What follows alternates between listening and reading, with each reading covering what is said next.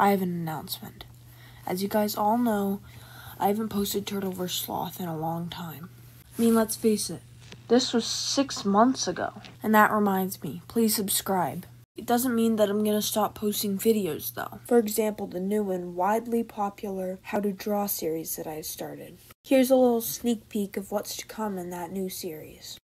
Plus, there's stick figure fights. Here's a preview of what's to come in that series. So, um, we don't have anything yet. And let's not forget the late, great behind the scenes. Here's a preview for the new behind the scenes. So, here's what I'm trying to get across. I'm not done making animations, and I'm not even done making Turtle vs. Sloth animations.